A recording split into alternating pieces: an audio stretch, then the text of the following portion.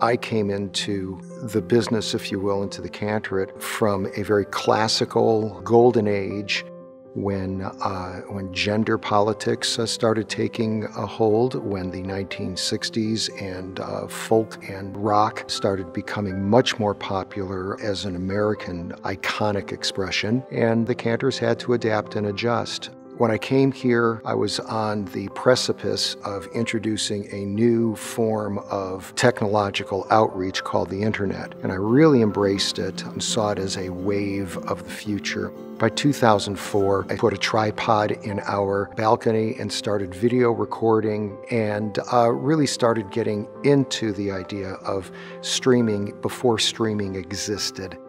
My relationship with Cantor Eichaker, I greatly value that. And he was a key figure in, in, the growth of our congregation and certainly, very obviously, in the music of our congregation. He's been a friend, an important friend, an important person who has been a part of my life, but much more so a part of my family's life. Well, I think that Cantor Eichaker embodies uh, the family because he is always talking about his own family. I mean, his kids are so important to him, and that opens a conversation about your own family. And there was a time, almost exactly three years ago, when all of the clergy were at our barn conducting services. But I went to Cantor Eichaker because I knew that he was an animal person. And at the time, we had three very sick horses. And I asked him, I said, Do you think it's possible for you to sing Mi Shebeirach? To our, to our horses. And they came back and they sang Mi Shebeirach while holding our horses. And it was unbelievable. I think one of the things that makes Cantor Eichaker such a wonderful leader is his passion. He cares about not just Judaism, but a lot of things. When he gets into something, he puts his whole self into it passion for music, passion for community, passion for trying new things, and all of those little pieces together make him who he is. Cantor Eichaker has a wealth of knowledge when it comes to worship and ritual, and while he knows the tradition deeply, he doesn't force that tradition on what we do as a congregation, but he uses it to inform our community and enhance what we do. So, in the B'nai Mitzvah process, most of our students really begin like week to week meetings with Cantor Eichaker like nine months beforehand. When you meet with somebody weekly, as he does, whether it is 15 minutes, 20 minutes, a half hour, or sometimes longer, I'm sure that many a student can tell you about the lectures they've received from Cantor Eichaker about how to live life or make their way in the world. So, going through the B'nai Mitzvah process, not only uh, as a parent, but also alongside your teenager, it is a kind of a crazy, stressful time. Cantor has this wonderful way of bringing a calm and really making everybody feel proud of this wonderful milestone and proud of being Jewish. So, when the kids were preparing for their B'nai Mitzvah, they would come once a week and it was just either one day or another and you'd come and you'd sit in the sanctuary and you'd wait for your child to get in there and they'd go up and they'd work with him. And so you get to see him work with not only your child but with the other children. And he would change himself with whatever child he was working with. And then there was times like kids would be messing around and he'd throw a football and you'd be like i didn't even know we had a football up there with him like. My daughter leah was one of the first uh, bat mitzvahs he did. And so my wife and i and lori uh, Newmark, uh, were called into his office. We went over the service and what would take place. And my wife volunteered that I played guitar. And he said, Well, then you'll play at her service. And I said, You know, I, I really don't think it's my place to do that. It's my daughter's bat mitzvah. I don't want to take away from her day. And he explained, No, you'll be adding to the day. That's what we do.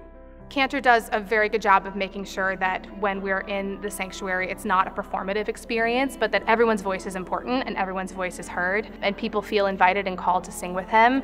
It's much more of a song leader style where he's inviting people to sing, whether it's in the more traditional sense of the prayers that they can latch on with him, or also just the goofy, amazing, fun parodies and stuff that he does. It's just always a fun time and such a big personality, and you never know what you're going to get, but it keeps people on their toes, and it's a lot of fun, and people always look forward to joining in for those things. We started at BSKI, and going back to when I was a small boy, five, six, eight years old, I was very moved by the prayer chanting of Lador Vador. To me, it was like a Jewish version of row, row, row your boat. Then we move over here, we join UH, they get to Lador Vador, next page, boom, they turn it. Whoa, whoa, whoa, where's the chanting? Where's the. And they didn't have that. Well, then what happened was my daughter Paige, Barry's daughter Megan, they were getting a dual B'nai Mitzvah together. And Cantor Eichaker, being the person he is, remembering, listening to the needs of the congregation, said, I remember your request about chanting Lador Vador, but this time I want you two to do it. I think Cantor Eichaker has given a lot to this congregation of himself. He was always striving to do something different and do something better and engage people. His music's eclectic, he's eclectic. That's okay. You can pull in whatever you love and whatever you do, and it's going to fit in this temple. We're going to make it work.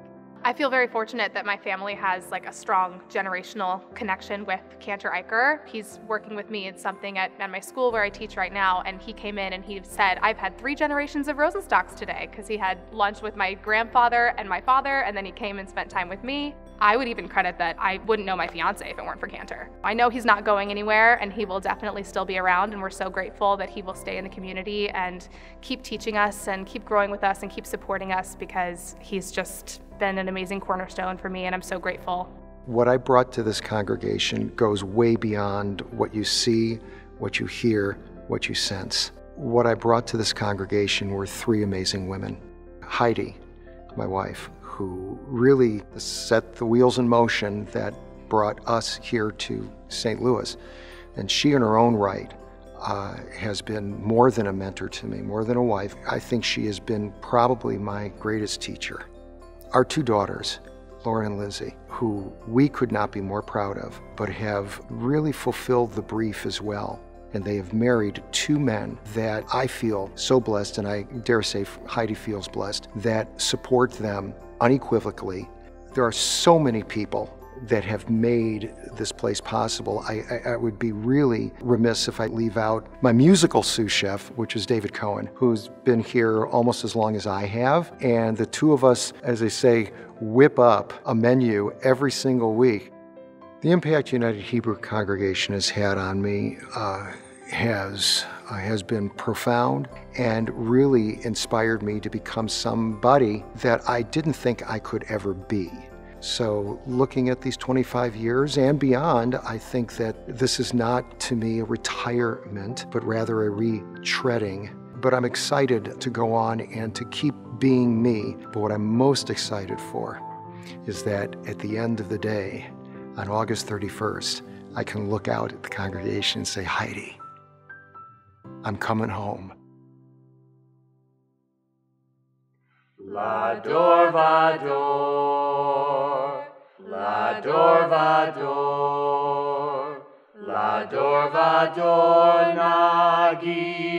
God lecha. Lador vador, Lador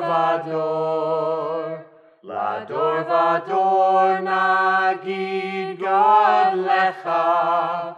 Olam netzach netzachim, kedushatecha nakdish, קדושתך